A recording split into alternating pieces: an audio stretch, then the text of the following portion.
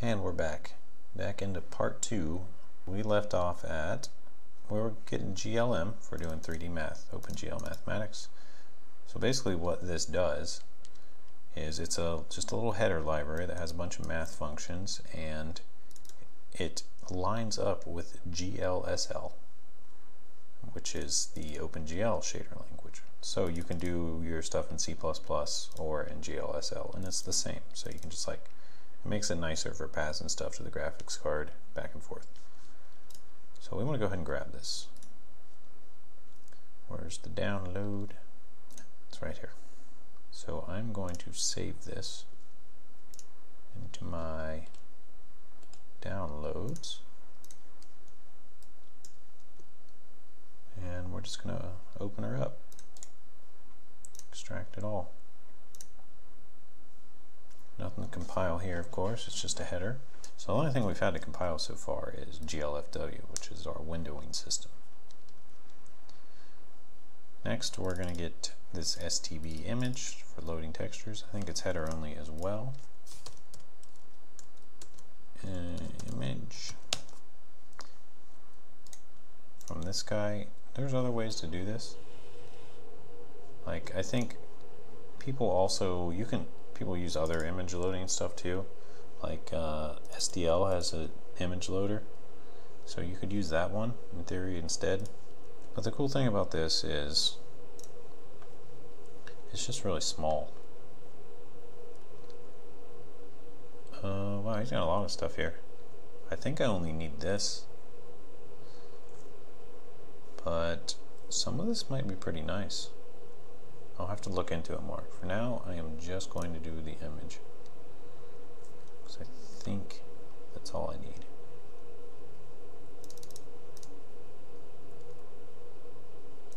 Okay, so yeah, this is important. You have to make something for this to compile into, which is sort of interesting. We're going to go ahead and, so I went to raw, now I'm going to hit Control D, no, Control S Come on, waiting for the save dialog. Control S, no. Well, I suppose the other way to do this is to select all, do a copy, do it with some program, I guess. Like Notepad++ plus should be able to do it.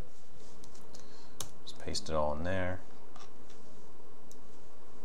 Wow, 7,000 line file.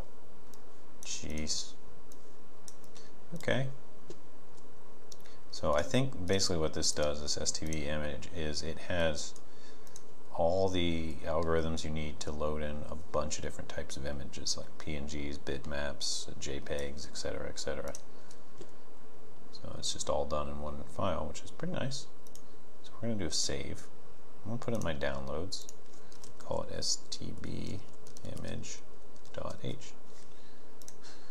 So that's a pretty roundabout way of saving this file, but gets the job done. So there it is. Okay, so we've got that. Now the last thing is assimp for loading meshes and models. Assimp, I'm going to go ahead and get assimp real quick, because then you just compile it for your version. There's a lot of work being done on this. Okay, so if we clone the master, we should be able to do this. Let's just download the zip. Alright, and we're going to work off the master. There's the master. We'll go back to CMake. And we'll do the thing. Um, what do we need? We need downloads. There's master. Oh, I should probably actually go into it. Yep, there we're good. And we're going to make that build folder. Go into it. Okay. And we'll configure. While this is configuring, we'll do a little reading wonder how much they make on pay 126 a month Really, that's it for this giant of a project. Expected a little bit more. 120 bucks a month to maintain this massive library that millions of people use probably. I'm a little surprised. Okay, so there we, we did the configure, we did that setup. And now we just want to go into it, go into build, find that solution we configured for 2019. So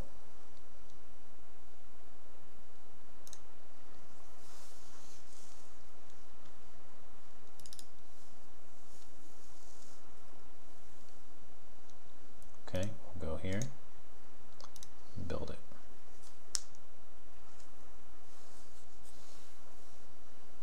Okay, looking good. Four succeeded. Boom. Alright, much better.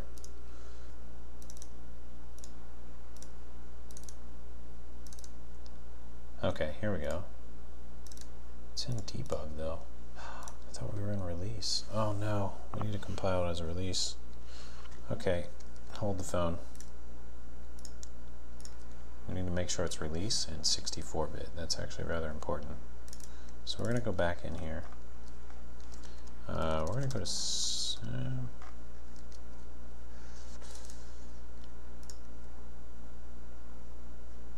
yeah, we'll go to build, reopen this solution, not in 2017. Oh, God.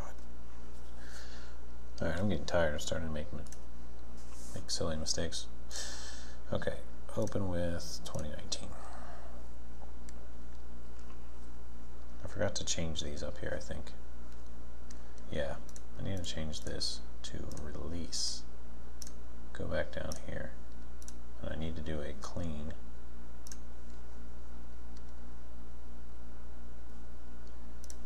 So that's why I wasn't finding it. I was looking for this release folder. And we're going to go ahead and build it.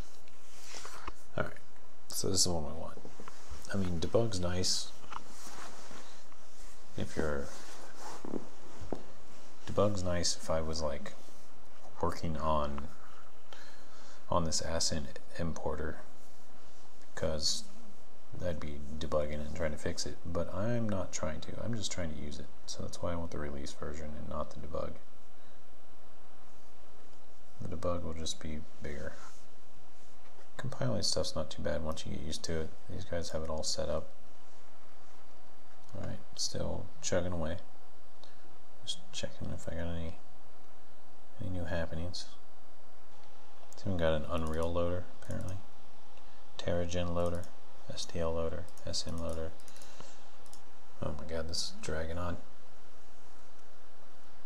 This is going to be a monolith of a video to edit. Okay, succeeded, release 64. Good. Code, was it in code? Yeah, code, release. Okay, so this is what we need. So we're good. Assimp is now ready. And it sees it. Okay, I'm going to stop here. We're essentially ready to start coding up the project. We've got pretty much everything that we uh, that we wanted to get going we've got it all set up. We need we do need to do the linking. Um, also need to do the linking for SIMP. So anything that you compile like that, you also have to link. And that is in the properties. It is under linker somewhere. And you basically point it to those libraries.